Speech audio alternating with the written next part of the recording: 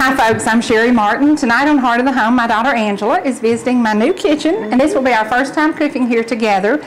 We're going to tell you a secret. We don't know how to operate this new stove and it took us 30 minutes to figure out how to turn one on, but we're going to prepare a meal. She's prepared this for me many times. It was um, a good friend's recipe absolutely love it, but I didn't know how simple it was. Mm -hmm. So this week we talked about it, and she said, Mom, I can do that in three minutes, so we're going to do it. And Very you easy. will love this one. And it's a company's coming recipe, or feed it to your family and make it simple. You will love this one. Mm -hmm. Angela, tell them the ingredients. The ingredients are you want boneless chicken breast, you want chopped spinach, frozen packages are fine, cream cheese, you want two packages of those then you want two cups of shredded cheddar cheese. You want one beef bouillon cube, some minced garlic, salt and pepper, garlic salt, and a little EVOO. And that's it. You're ready to go. Well, Angela, we've got the cubed chicken. Let's put it on. Let's cook my chicken up, what, five minutes? And yours will cook seven minutes breast, maybe? I, I take the whole breast and then I cut it in half with just my kitchen scissors. And while I've got my chicken going in my EVOO, little garlic, salt and pepper, then I also put my water on the boil, drop my two big cubes of frozen chopped spinach in there. I don't usually go by the directions. I just stir it up, and I've also got my beef bouillon cube in there. Stir it until it breaks apart and looks done. It's common sense. Just give it a little stir when the pieces come apart, it's ready to go.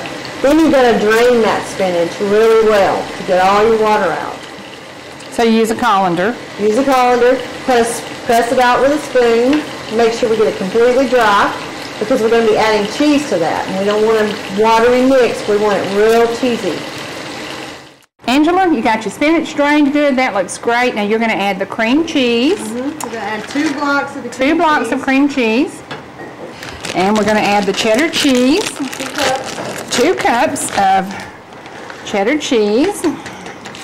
We're bringing the spinach and the cheese. We're just warming it up a little bit going to dissolve everything together and then we're going to add this wonderful hot chicken to it. Just work the cheese until everything is melted down. And these flavors together are absolutely incredible. This is simple, and I think it's going to impress people. What absolutely. You, absolutely. Now what we're doing, we're putting the biggest half of the breast down, and we're just going to pack it with the filling, which is our spinach and cheese. Then we're going to put the small part of the breast on top, we're going to put some more of the spinach and cheese, just a little bit this time. Kind of mash it out. Then we're going to cover it with some shredded. Mm. Wow. We're going to pop this in the oven, let this cheese melt, and then serve it up. In the oven for what, five to seven minutes? Sure. There you go. We're going to take our little chicken bites for our family dish.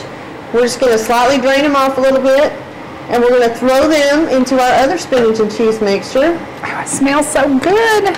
And this is the easy part. We're just going to mix all this together, throw it in a casserole dish. I am so impressed. This was so simple. It smells delicious. And I know from past experience it tastes delicious. And thanks for sharing this wonderful recipe. It was a simple one, and it was an elegant one. Tune in again next week, Heart of the Home. We'll see you then.